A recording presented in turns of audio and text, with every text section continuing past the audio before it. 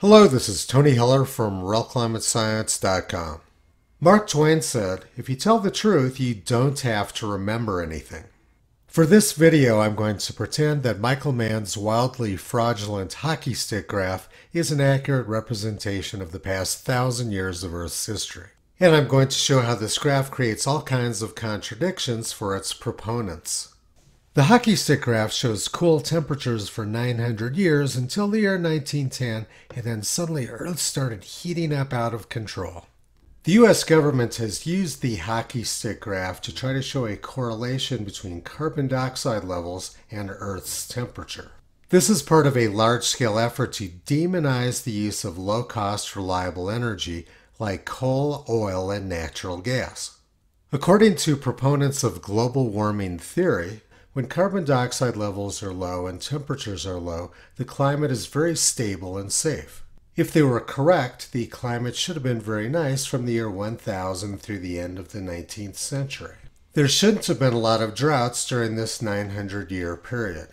But unfortunately for them, that doesn't seem to be the case.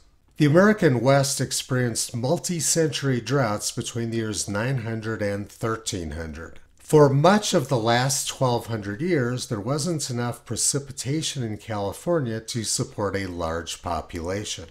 But the 20th century was the wettest on record in California, which allowed tens of millions of people to move there.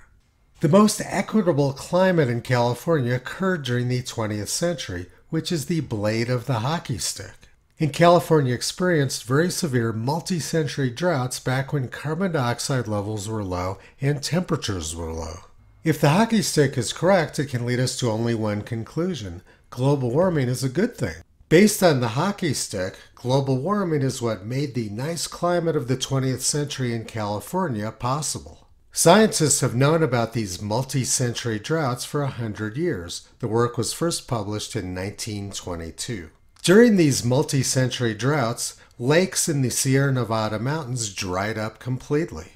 Ancient tree stumps have been found at the bottom of Mono Lake and other lakes in the Sierra Nevadas.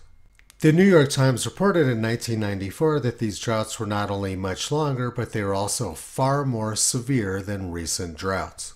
And they said that these droughts coincided roughly with a warmer climate in Europe. The Anasazi people dominated the Southwest for many hundreds of years before they were wiped out by a 70 year long drought during the 13th century. These megadroughts don't make sense in the context of the hockey stick and the belief system of its proponents. But these droughts could have been explained using the 1990 version of the United Nations graph. Had Michael Mann not erased the medieval warm period, it would have been very easy to explain the droughts. What the United Nations did was they replaced a graph which could have explained Earth's history with one that can't. By adopting this fraudulent graph, the United Nations has created a very fundamental contradiction for their belief system. Why would California want to go back to the disastrous low CO2 climate of a thousand years ago? By adopting the hockey stick graph, they made a very clear case for never wanting to go back to a low CO2 climate. I'll be doing more videos like this discussing other historical bad weather. Toto's been pulling back the curtain on this tangled web of deceit for the past 14 years. You can visit Toto, Kyrie, Caesar, Toki, and Upla on the web at RealClimateScience.com.